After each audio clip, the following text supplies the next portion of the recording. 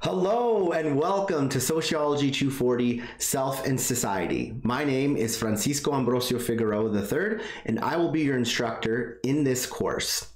Today, what I would like to do is take an in-depth look at the syllabus and really talk about how this course is going to be organized and executed. So let's jump right into it. Syllabus overview. Okay, now we have the syllabus up. You can find the syllabus under syllabus in Canvas, and I think I've also linked it in uh, the program files under files. So let's quickly go through the syllabus. I'll underscore some important parts I'll probably fast forward through things that you can just read on your own time, but let's get into it. So again, this course is titled Soc 240, Self and Society. My name, again, is Francisco Ambrosio Figueroa III. I'm a PhD ABD. My pronouns are he, him, his. The meeting times for this course are completely online. There are no set meeting times. It's fully asynchronous or OWM. Now here, you could see that I have linked the um, OWM practice policies and procedures as outlined by Dominican University. So make sure you are registered for the correct course. This is a fully online asynchronous OWM course. My office hours will be Tuesday, 3 p.m. to 4 p.m., and Thursday, 1 p.m. to 2 p.m., and by appointment uh, via Canvas Big Blue Button. Or if Canvas is being weird and we're having too many problems uh, throughout the semester, I'll switch it to uh, Zoom. Uh, and if I do, I will share that link with all of you. Uh, the instructional format, again, this is a remote online asynchronous course taught fully in Canvas, and all work and communication will be done through Canvas uh, and email. Uh, here's my email for your convenience. Um, oh, speaking of, I want everybody to email me a short little bio. Introduce yourself. Um, tell me what your major is, what academic year you are, um, you know, if you're if you have a job, uh, what you like to do in your spare time. Just a quick, you know, four sentence introduction. I would like to get to know each and every one of you. So I'm expecting that everyone in the course at some point uh, in the first week will email me and introduce themselves to me, and I very much look forward to that. So this is a three credit course. Uh, the expected student workload is three hours of learning and studying, plus six hours of completing assignments for a total of nine hours uh, as a weekly average, uh, of which students have will be committing to at the beginning of the semester. Um, I have a nice little welcome here. Feel free to read that. I'm not going to read it here. Um, okay, how to contact me. The best and easiest way to contact me is via email. I've also linked it here again for your convenience, so that it's now in two areas in the syllabus. Um, I usually reply within 72 hours. That's kind of on the longer side. Usually, um, I'm fairly quick uh, with email, but you know, in order to solidify a, a practice, I will get back to you within 72 hours, but usually it'll be a bit sooner. Um, and again, please let me know privately if you prefer a nickname or a pronoun as well. The required text for this book can be purchased uh, in the D uh, Dominican University bookstore. However, I did have a chance to call uh, the manager of the bookstore, and it's not yet in as of right now. I don't think they're expecting it to be in for a, a, few more days. So please know that you can purchase this book this book at any bookstore. Um, here is the see if I can get uh, a shot of this. Here is the only required text of the course. It's called The Self in Society, um, and it's by Leslie Irvine. Uh, it was published in the year 2013. I have provided the ISB N number here, and the publisher is San Diego. Um, okay, so you've all seen the course description when you've enrolled in the course. I'm not going to go through that uh, here, but here's a nice little course description. Um, class policies and expectations. I do want to take a quick minute to really emphasize some things in this section of the syllabus. Students are required to read and acknowledge the university-wide policies each semester. You can find the Dominican University-wide policies, academic policies, uh, here. I linked it here for you. Um, and you're also required to regularly check your email and Canvas. You have to be logging into Canvas. You have to be checking your email. I suggest you do that three to five times a week, just in case there are updates, changes to the syllabus. Um, as we'll find out later on uh, when I have the schedule, uh, the schedule is likely to change. In fact, I can almost guarantee it. Um, Again, uh, we'll talk about this a bit later. The schedule itself is a tool. You don't need to follow the schedule. This course is completely asynchronous. You learn and go as um, as your schedule allows. But I have provided a schedule for you, and that schedule might change from time to time. I've been teaching sociology for seven years, and in many ways, I'm going to treat this course as I would a face to face course. However, I fully understand that this is not a face to face course, and there are many unique and specific and significant differences between the two types of learning experiences. One of the ways in which I'll treat this as a face to face course is my level of expectation. I expect the same level of commitment in terms of a student's time, energy, and dedication to the course. Just because this is an online class doesn't mean that it's easier than a face to face course. In fact, in many ways, it's much more difficult. However, uh, there are significant pros to taking an online asynchronous class, one of which is being you get to work as your schedule allows. Um, so please do not fall behind in this course. It is very, very, very difficult to catch up. Use the course schedule as a guide and a tool to keep yourself on task with assignments and readings. If this is your first online course, you will quickly see that unlike traditional courses, online courses are student centered rather than instructor centered. This course is extremely reading intensive. I can't emphasize that enough. There's going to be a lot of reading. It's going to start off slow, right? I want to, we're going to get our feet wet with some reading. And then after the first two, three weeks, we're really going to start to get involved into the text. Not only um, the required text here, but also uh, supplemental readings that I've already posted on Canvas. Now, what this means is that you are responsible for completing all readings. You are responsible for your own, own learning and your own success. I will facilitate that as much as possible, um, but this is really an, almost an independent project. I am here to fully facilitate, underscore, highlight, present. I'll have lectures here and there, uh, recorded lectures that I post, but this is a 100% online course is a reading intensive course, and you are responsible for completing all readings and assignments, um, and you are responsible for your learning. If another part of this is if you ask me super basic questions, things that are either covered in a lecture or covered in um, in some sort of written material or covered in the syllabus, I'm simply going to refer you to those resources. Now, again, I'm always here to help. I'm always here to help facilitate and guide, but um, this is really going to be a you project, right? This this course is significantly dependent on you and your dedication and the energy you put into this course. Okay, what do we have here? I will offer a schedule. I already told you that. Okay, yeah, so that's pretty much, um, that covers the class policies and expectations section. Um, I've listed some uh, additional helpful hints here. This is all basic stuff. Be highly motivated and disciplined. Again, as I mentioned earlier, this course will not be any easier than a face-to-face traditional classroom course. Um, and if this is your first asynchronous course, please, in your bio, when you email me, let me know that this is your first asynchronous course and we can kind of have a dialogue and a back and forth on you know what it might be like um, and, and, i would really like to know if this is your first fully online asynchronous course a uh, bunch of other stuff here um, please please please use the dominican university writing lab the link is here for you as all of your graded work in this course requires quality writing.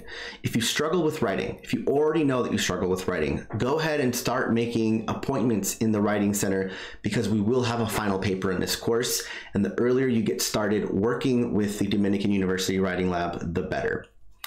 Keep an open, big picture, macro level mind as you're reading these texts. And we're going to later on, I'm going to have a whole other lecture on, you know, how the best way to, to read these things. A lot of these readings are deeply metaphysical and philosophical, um, of course, and sociological, but students tend to struggle with the more the metaphysics part of, of this of this course typically it's brand new to them um, and you know they haven't had any philo- philosophy courses in the past so it's kind of this whole new world that's being opened and the best way to approach the readings and the best way to approach the philosophy and the metaphysics that comes along with self and society is to keep an open mind, a big picture, macro level uh, open mind.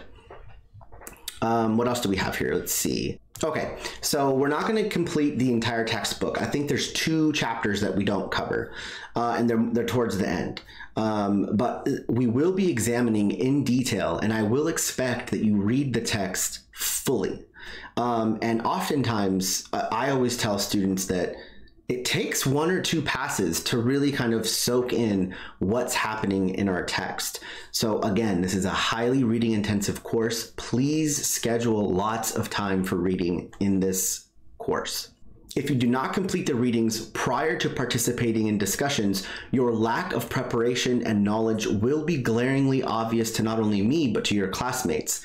And the last thing we want to do is be wasting each other's time. So please, please, please do the reading.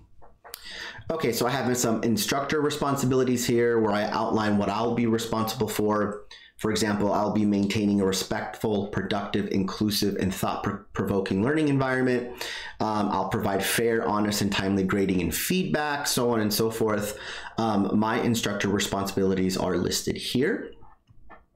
Okay, so now we're on to the topics. These are the broad topics that we'll be covering in this course. Part one of this course are theoretical perspectives on the self in sociological social psychology and its uh, ascribed methodology. Uh, we'll start off with some classical readings.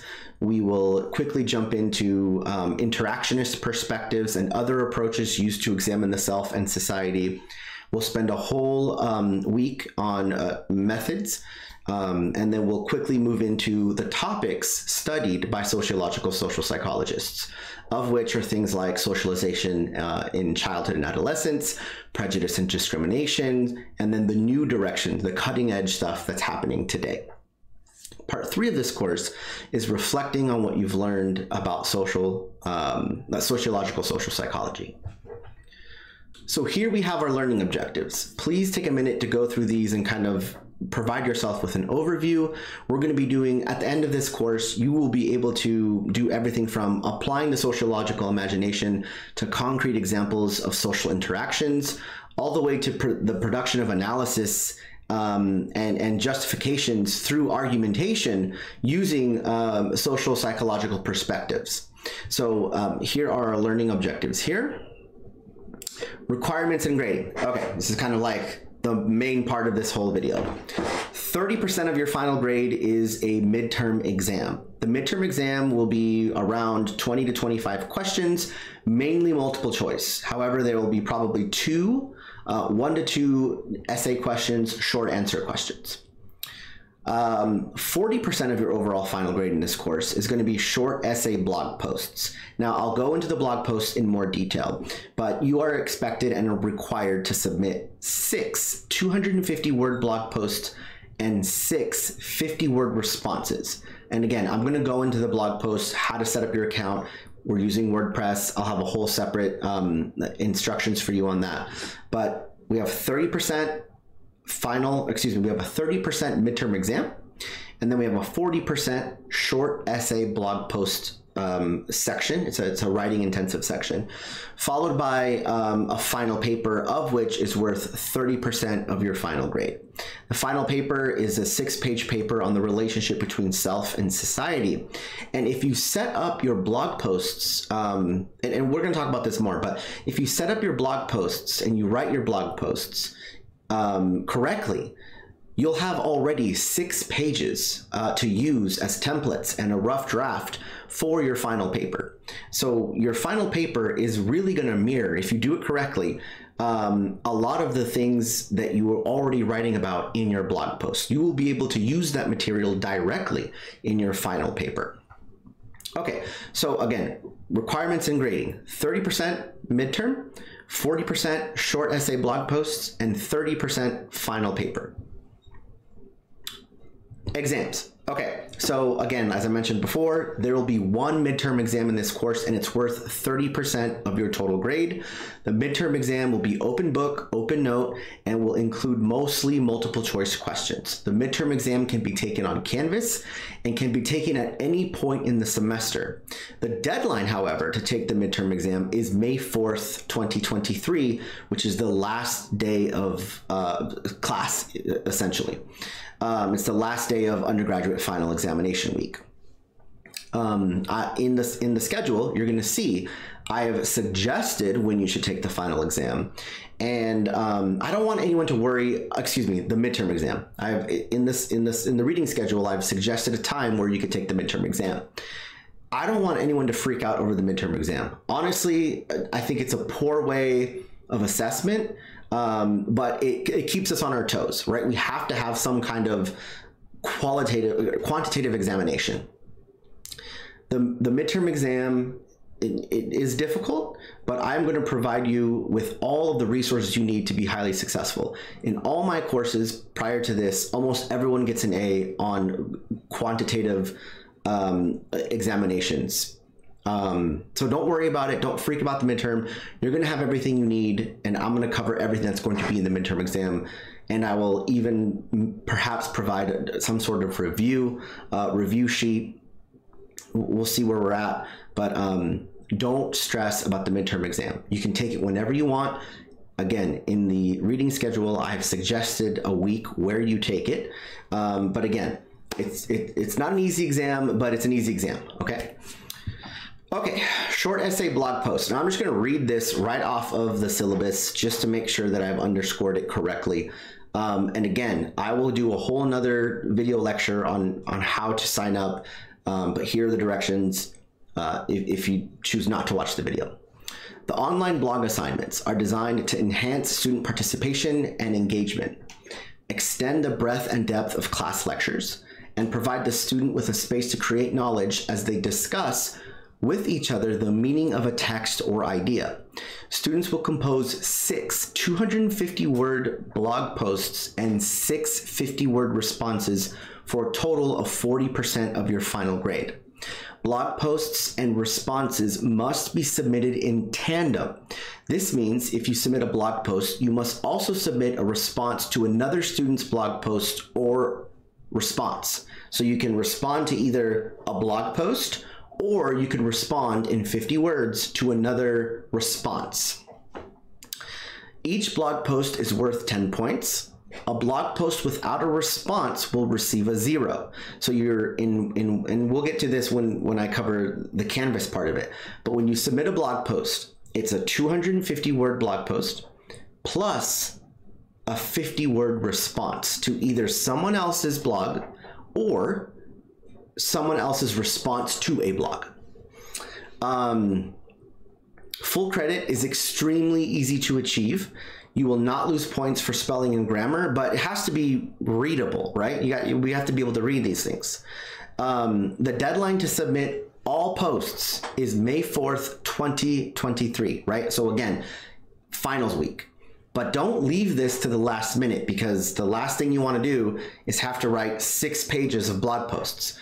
I, again, in the schedule, underscore when you should be submitting these things. And typically, it's the first six weeks, right? You want to get these out of the way with early.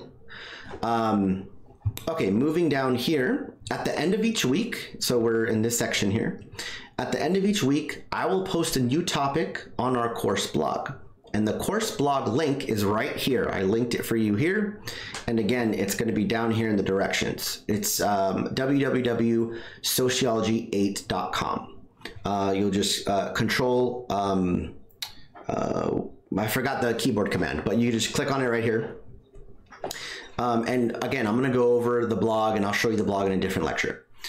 I will ask you to connect material from course readings and lectures to your post. Blog posts must be a minimum of 250 words. The easiest way to complete the word count is to open up a Word document and draft the post in Word to ensure you have hit the 250 word count, the 250 word count uh, requirement. Use the same method for response. Open up a Word document, type out your response, make sure it's 50 words, and then you can cut and paste from Word directly into the blog website. Um, after you've completed your blog post or response in a Word document, you can simply cut and paste the text in the leave a reply text box on the course blog website. Again, might sound weird now, um, and you know this is going to be. It'll take a while to get us to get everyone set up, but it's super easy. It's super straightforward. Um, it, you know, we've all signed up for things before. It's super quick. It's just a couple of clicks. Blog post must be academic and you should carefully compose your entries. Again, if you do this correctly, if you carefully compose your entries, each blog post is a page of your final paper, an outline at least, right? A skeleton. So that when it comes time to draft your final paper, you have already six pages of written text. Um, please know that unreflective venting is not acceptable, right? This isn't Facebook uh, or Twitter this is an academic exercise whereby, uh, um, and the first two aren't so much, but the rest of them are deeply uh, are going to be deeply academic, and they're going to um, really require that you reflect on the course readings um, and apply them in, in real time short essay blog post grading in Canvas right here. So um, to receive credit in Canvas for a blog post and response, remember you're submitting these in tandem. Um, a blog post without a response is a zero, okay? To receive credit in Canvas for a blog post and response, navigate to the assignments page in Canvas. I'll show you how to do this later. Um, click on the blog post. Right now, there's one through 10, I think. Um, and in the text box, type in your course blog pen name and hit submit. When you hit submit, that'll prompt me to go to our blog and read your post. Um, I'll you know after I read your post, I'll then go into um, and read your blog post and response. Now you're probably thinking pen name, what the heck? So as you can see here, here are the directions to access the course blog. You're going to go to sociology.8.com. You're going to click on the blog assignment you wish to respond. And again, I'm going to show you this later in a breakdown in, in a different lecture. Um, in click on the blog assignment you wish to respond to scroll to the bottom of the screen and find leave a reply it's a it's a little text box where you can respond to um, my original blog post question or uh, directions um, you're going to cut and paste into the text box your response. And now, the first time you do this, you'll be asked to enter your email and create a name. Do not use your regular name. I want the blog space to be completely anonymous. Only I will know who is who. When it asks you to create a name, create a pen name, something, um, you know, like a gamer tag if you play games, or um, anything other than your real name, okay? Again, do not use your real name as your pen name. Um, when you do this, allow for notifications so that you can be notified when someone responds to your analysis. You're going to find that this is, you know, really going to become a, a, deeply engaging and um, there's going to be a lot of back and forth. This is going to be how we interact with one another through the blog. Um, so when you originally set up your account, when it asks you to put your email and your username, there's going to be two boxes. I suggest that you allow to be notified via email when someone responds to your post. Register as a user only. You do not need to choose a domain or pay anything. I've already paid to set everything up. There's no payment required. This is completely free to you as a student. So be sure you don't kind of go down a real a weird trail where it's wanting you to set up a domain name and it's going to you know ask for a credit card. That if you get there, reach out to me and we'll figure it out together. But if you just follow these simple steps if you go to the blog, you click on the reply button. Before you can reply, it's going to ask you to input your email and a username, and it's as simple as that. Um, again, please reach out to me ASAP if you need help registering as a user. I suggest that um, you know classes start Monday. Um, you you should really have this this would be the first thing you do. No second thing you do. The first thing you do is going to email a little bio introduction to me. Uh, the second thing you do is go to the course blog and set this up. Um, there's uh, two blogs already posted. Um, again i'll go into more detail on the blog and how to set everything up in, in a later in a later video um, okay moving on to the final paper uh, for this paper, students may write a literature review, a research paper, a metaphysical slash think paper. Now, the think paper is probably going to be your best bet. You're the easiest way to succeed in this course. But not everyone likes to think um, in these kinds of terms, right? Some people love writing literature reviews. Some people love writing research papers. Some people love writing an argument paper. Um, you can, you know, perhaps write about um, you know whose perspective is more valid in, um, in, in in the contemporary times, George Herbert Mead or Cooley's perspective on the self. There are different ways to do this, different ways to succeed. Um, you can write a compare and contrast paper, uh, or even interpretive paper, where you know you say something like, "Of importance to this paper, uh, we are going to interpret." Um, Goffman's theory of dramaturgy, whatever it might be, right? Um, regardless of the paper type, for all papers, six pages of text is the minimum and maximum number of pages. Six pages. Six pages. You'd be surprised how many students send me seven, eight, and they're gonna lose points. If you don't even if you don't hit the six pages, I won't even read it. Has to be six pages of text. Uh, the text must be double spaced in Times New Roman 12 point font with one inch margins on all four sides for each page. Don't try to cut corners here. You know, I've seen it all. Please just follow these formatting requirements. If it doesn't follow the formatting requirements, it's just going to be a zero. And this is 40%, or what is this? This is 30% of your final grade. So um, just set up your paper and format it correctly, okay? I will not read papers that don't follow the formatting requirements and they will receive a zero. Um, the topic of the paper must be centered around the relationship between self and society, right? So that is your, in a way, the first half of your thesis, right? We're taught this is a self and society course. The paper is a self and society paper. Um, so the topic of the paper must be centered around the relationship between self and society. I'll dedicate one full lecture to the final paper and I'll go over the assignment in full details in a later lecture. Um, students must declare their type of paper by the rough draft deadline, which is week 11, March 23rd. Now, again, I'm providing you with these dates and these deadlines. And in the course schedule, you're going to see those dates and deadlines. But remember, this is a fully online asynchronous course there are no deadlines. There, you know, if you if you don't submit to me um, or declare the paper type uh, by week eleven, okay, fine, no no big deal. But I want you to treat this course and the schedule as if it was a normal face to face course because that's going to keep you on track.